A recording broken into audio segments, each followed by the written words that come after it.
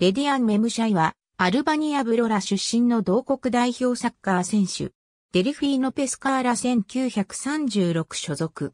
ポジションはミッドフィールダー。1997年、コソボ紛争から逃れるため家族と共にイタリアに移住。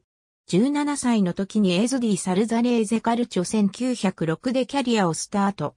2006年、クラブは5部リーグを2位でオエセリエ D に昇格した。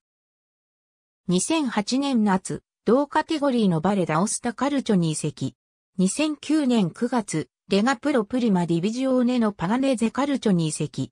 2010年6月、セリエ A の AC キエーボベローナにフリーで加入。2011年1月、カルチョポルトグルアーロスンマーガにレンタル移籍。2012年7月、セリエ B の US レッチェに3年契約で加入。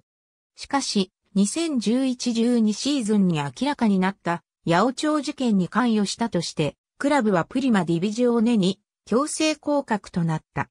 2013年7月、セリエ B のカルピエ FC に買取オプション付きのレンタル移籍。シーズン終了後、買取オプションは行使されず、レッツェに復帰。2014年9月、セリエ B のデルフィーノ・ペスカーラ1936に単年契約で加入。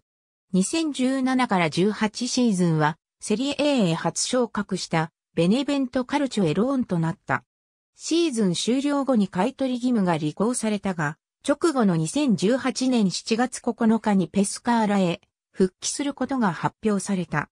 2010年11月17日開催の親善試合、マケドニア共和国戦で63分に途中出場し、A 代表デビュー。2017年6月11日の 2018FIFA ワールドカップヨーロッパ予選イスラエル戦で代表初得点を挙げた。ありがとうございます。